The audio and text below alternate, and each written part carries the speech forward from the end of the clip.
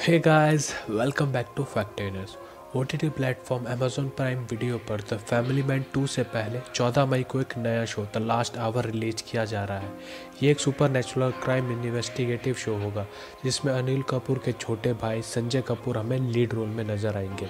ओ T T platform पर संजय कपूर का ये पहला बड़ा शो है। इससे पहले भी वो काफ़ी शोज़ में काम कर चुके हैं, पर पहली बार किसी थ्रिलर शो में हमें नज़र आएँगे।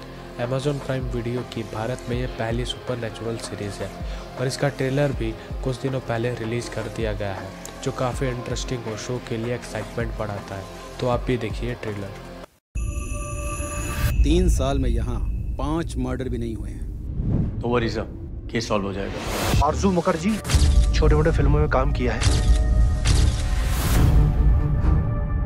विश्व की शक्ति उनमें है जिनमें मन और आत्मा का मेल हो। न कामना हो न क्रोध जिसे आत्मा की पहचान हो। ये शक्ति तुम्हारी खुशी के लिए नहीं है देव। आत्माओं को दूसरी दुनिया पहुँचाने के लिए। कहते हैं कि झाकरे लोग कभी कभी आत्माओं से बात कर सकते हैं। तुम आत्माओं को देख सकते हो। हाँ। तो क्या तुम मेरी माँ से भी बात कर सकते हो?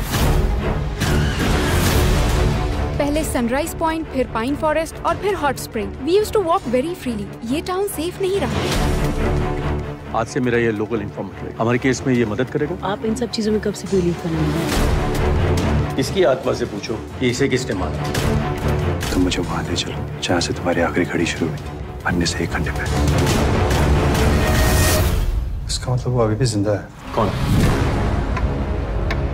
गलत जगह पे ये नहीं था। वो थी। कौन है ये?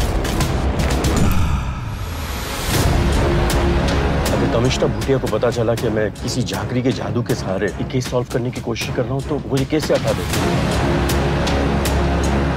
मुझे जानना है कि उस दिन माँ के साथ क्या हुआ। देव मुझे लगता है कि पापा को छुपा रहे हैं।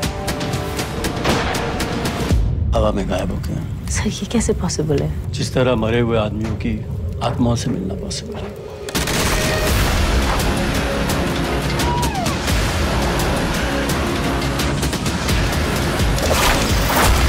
तो ये था द लास्ट आवर का ट्रेलर कमेंट करके ज़रूर बताइए आपको ट्रेलर कैसा लगा। तो गाइज़ आज के लिए इस वीडियो में इतना ही। अगर आपको वीडियो पसंद आई, वीडियो को लाइक कीजिए चैनल को सब्सक्राइब कीजिए। मैं मिलता हूँ आपसे अगली वीडियो में। तब तक के